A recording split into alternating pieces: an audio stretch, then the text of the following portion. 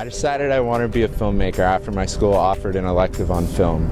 I found my passion. I loved to paint, but my school didn't have any room in the budget for arts electives.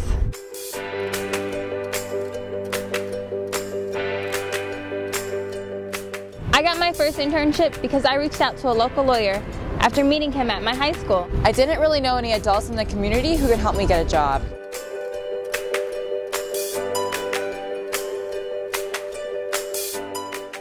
I came to college with a full semester of AP credit. I didn't have the option to take a single honors or AP class at my high school.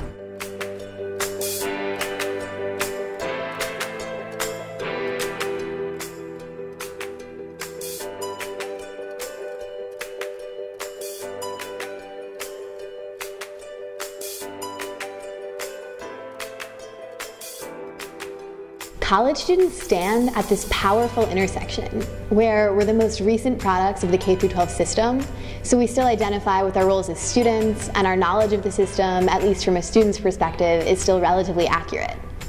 But we're all training to take on the world in every sector.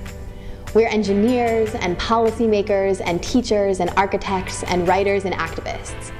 So while we have the time and the strength of conviction, watch us dream. Watch us try, and if history is any indicator at all, watch us succeed, at least sometimes, in designing avenues by which schools and the students they serve receive the resources they need to be successful.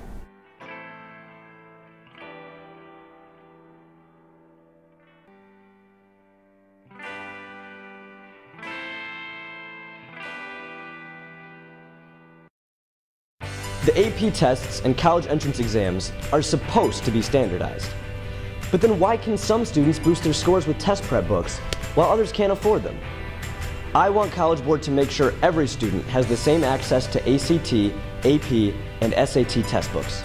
I want to create a traveling circus of college graduates who go around the country and inspire underserved students to go to college. I want to put passionate college students in underprivileged classrooms all across the country so they can teach and learn alongside the students who need them most.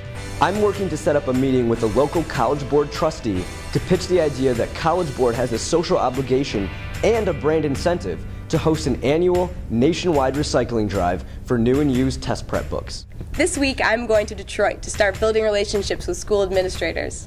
I'm going to make this circus happen. I'm connecting with university professors to help develop a curriculum that will put college students in the classroom. You are an expert of your own experience.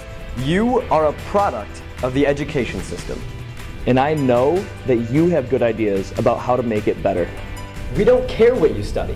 Engineering, Business, English, economics. We want you to join us in this movement.